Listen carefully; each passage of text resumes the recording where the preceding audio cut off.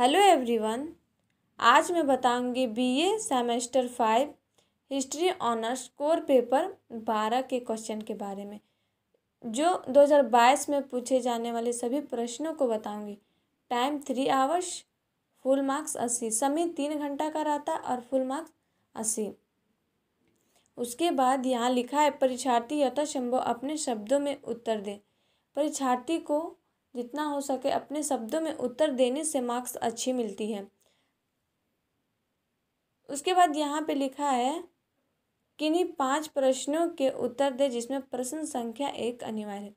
किन्हीं पाँच प्रश्नों के उत्तर देना है जिसमें प्रश्न संख्या एक बनाना है, उसके बाद चार जो आपको अच्छा लगे। एक का ए में पूछा, निम्नलिखित प्रश्नों के सही उत्तर का चयन करें। सही उत्तर का चयन करना यानी कि ऑब्जेक्टिव है। ए, पहला नंबर है, नानकिंग की संधि हुई थी। ए ऑप्शन है अठारह सौ बयालीस ईस्वी। बी ऑप्शन है अठारह सौ तिरपन ईस्वी। सी में दिया है उन्नीस सौ बयालीस ईस्वी और डी में दिया है अठारह सौ बानवे ईस्वी।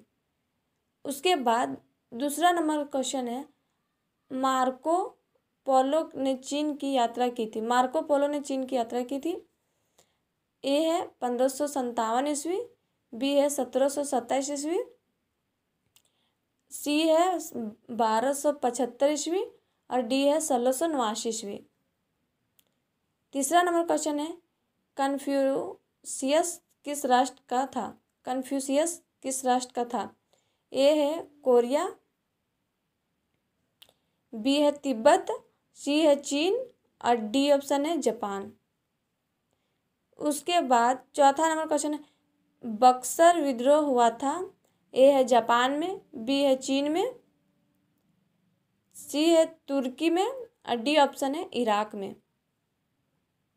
उसके बाद पांचवा नंबर क्वेश्चन है, कुओमिन तांग दल का संस्थापक कौन था?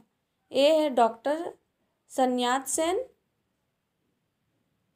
B number option है युआन सिकाई, सी है माओ तशेतुंग डी ऑप्शन है चयांग, काई शेख उसके बाद छठा नंबर है क्वेश्चन, चयांग, काई शेख ने अपनी राजधानी बनाई।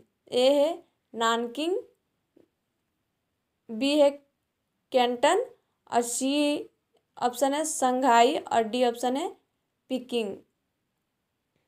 सातवां नंबर क्वेश्चन पूछा है, जापान में मेजी पुनर्स्थापना हुआ। ए ऑप्शन है अठारह सौ पैंसठ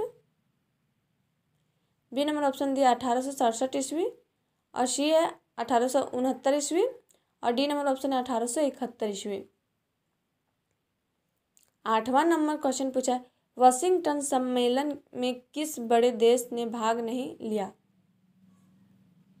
ए ऑप्शन है फ्रांस, बी है जापान और सी है रूस और डी नंबर ऑप्शन है अमेरिका। उसके बाद नौवा नंबर क्वेश्चन है मंचूरिया संकट हुआ था। ए ऑप्शन है उन्नीस सौ तीस ईस्वी। बी नंबर दिया है उन्नीस सौ इकतीस ईस्वी। सी ऑप्शन है उन्नीस सौ बत्तीस ईस्वी।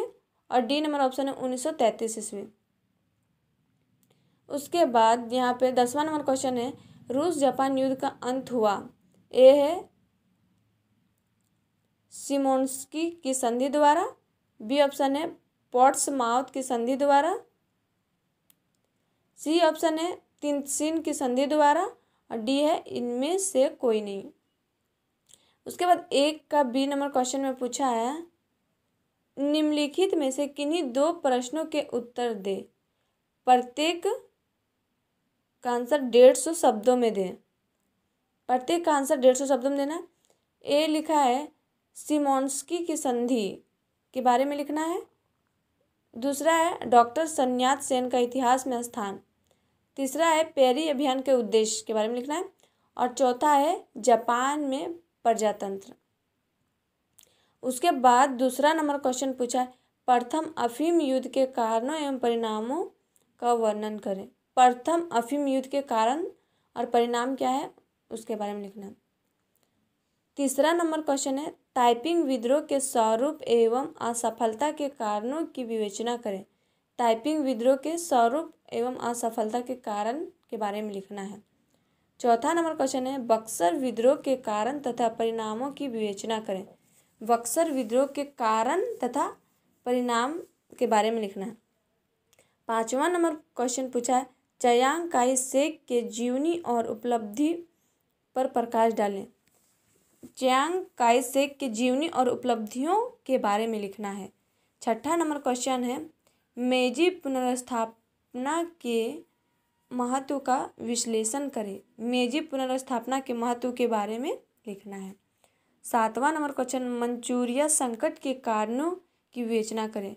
मंचूरिया संकट के कारणों के बारे में लिखना है। आठवां नंबर क्वेश्चन है, जापान के आधुनिकीकरण का संक्षिप्त वर्णन करें। जापान के आधुनिकीकरण का संक्षिप्त वर्णन करना यानी कि इसके बारे में डिस्कस करना, लिखना है। नौवा नंबर क्वेश्चन है द्वितीय विश्व युद्ध के दौरान जापान की स्थिति पर प्रकाश डालें। द्वितीय विश्व युद्ध के दौरान जापान की स्थिति के बारे में लिखना है। और आप लोग को वीडियो अच्छी लगी तो please like and subscribe my YouTube channel and share ज़रूर करें।